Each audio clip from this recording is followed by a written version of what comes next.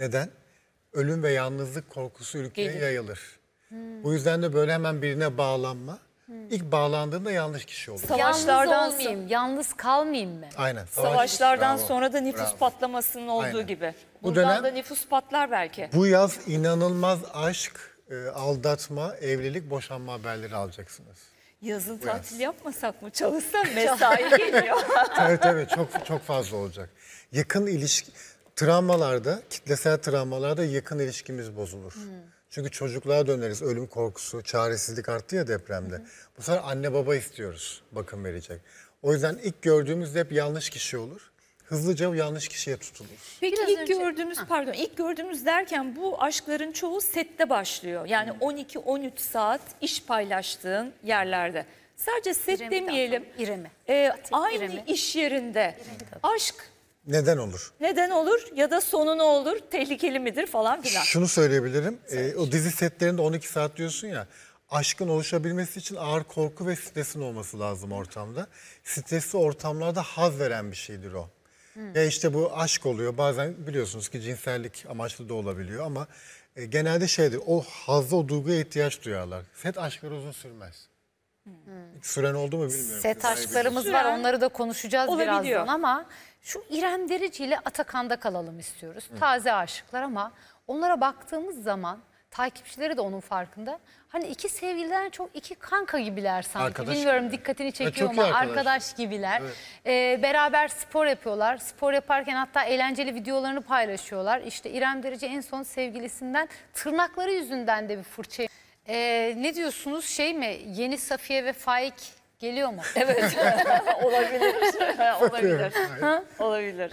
Ya ben hani e, iyi bir arkadaş olduklarını ben de yani kankalık arkadaş. Kanka gibiler, kankalık evet. gibi değil mi? Evet. Ama İrem Eğleniyorlar bir kere. İrem kanka olmadan, dost olamadan olmuyor. O sevecek illa böyle hani. hani Evet. Her şeyi yaşayacağım onunla.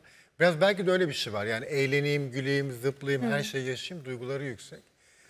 Bitebilir, devam edebilir. Önemli olan şu an yaşadıkları şey tabii. Aşk mı değil mi onu zaman gösterecek. Ya bir şeyin eniş- aşk olup olmadığı için arkadaşlar gerçek aşk orada böyle bir 6 ay bir yıl demlenmeniz lazım sizin. Bir yıl kalacaksınız orada. Çünkü her şeye rağmen devam edecek mi? Güzel günlerde devam ediyoruz da. tabii o- Bir de insan- yüksekken herkes aşık, Evet. herkes ayaklarım yerden kesildi. Asıl o bir düşmeye başladığı zaman o duyguların Ee, aşırı yüksekse diyelim ki artı 10 gitti eksi 10'a girmek zorunda. Yükseldiği kadar dibe iner hayat. Ee, aynen öyle. Orada da birbirimizin yanında durabileceksek bu ilişki yürüyor genelde. Bu dostluk da olsa aşk da Peki, olsa. e, Yürümüyorsak evet. Peki sevgilinle kanka olmak nasıl bir şeydir? sevgilinle Böyle bir kanka yüz, olmak. sonra söylerken yüzü buruşturuyorum ama hani Ya sevgiliyle kanka olmak, hani arkadaş olmak iyi bir şey. evet ama, Ama- kankalık sanki arkadaşlığın sınırını biraz zorluyor gibi değil mi?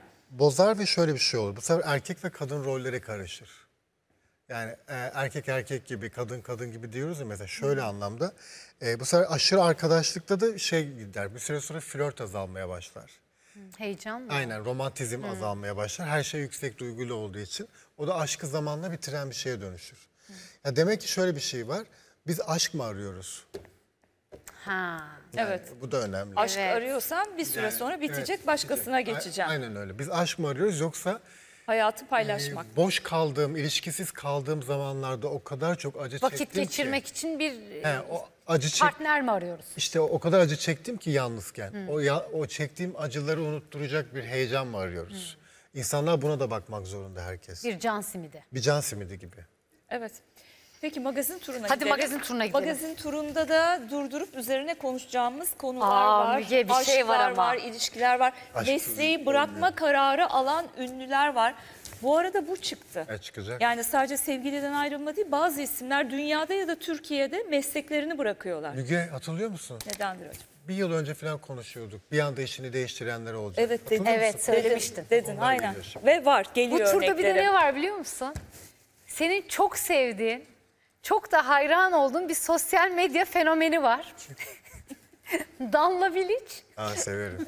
Hayran Davalık olmuşlardı değil mi? Evet, bir evet. mahkemelik olmadı. Ama Merve Özbey'in düğününde hallettik biz onları biliyorsun. Yine adliye koridorunda onu da konuşalım. Orada durduralım o zaman. İzleyelim magazin turunu.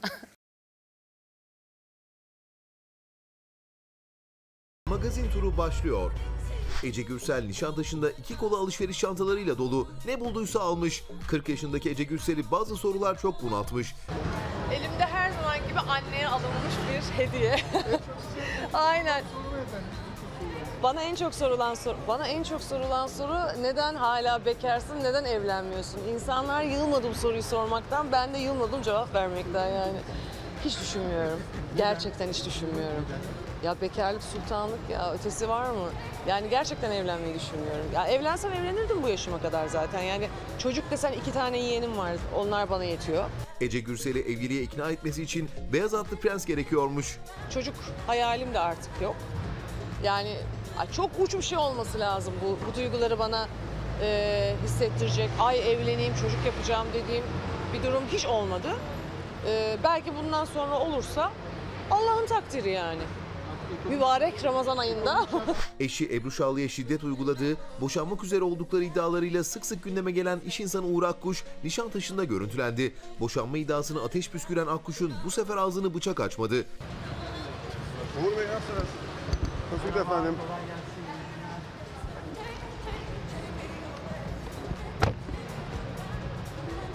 Yalı Çapkını'nın abideni Ersin Arıcı alışverişe çıktı.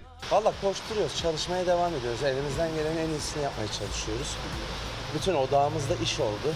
7-24 kendini işe veren Ersin Arıcı, geleceğe dair hiç plan yapmıyormuş. Yok ya ben çok gelecek planı yapmayı sevmiyorum.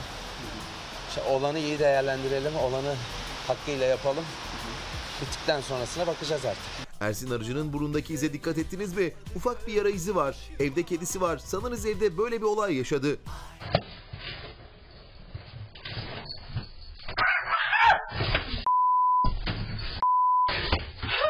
Kedisi saldırmamış. Kedinin günahını aldık. Ha yok bunu kedim yaptı ya. Benim yaramaz bir kedim var da o e, balkondan düşerken ya düşüyordu.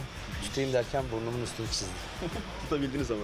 Yağmurlu bir İstanbul akşamında Beyoğlu'nda salına salına yürüyen iki küçük hanım ellerindeki şemsiyelerle adeta birer yıldız gibi geceyi parlatıyor. Bize eski İstanbul'u hatırlatıyordu.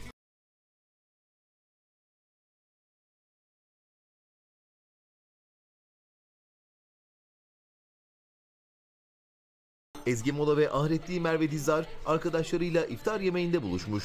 Merve Dizdar, Ezgi Mola'nın geçen hafta gerçekleşen doğum günü kutlamasına katılmamıştı. Hediyesini de henüz alamamış. Daha hediye almadım. konuşmayız. Söyleme Merve ne gerek? Daha hediye almadım. evet. Çok dosyanız vardı. Bu Esmer Soylu içerideydi. Evet, Neler konuşuldu birlikte. o yemek?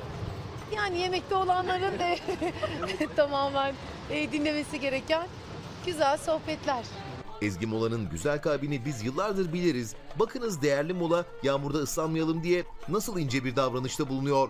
Nasıl gidiyor efendim? Çok güzel. Güzel gidiyor.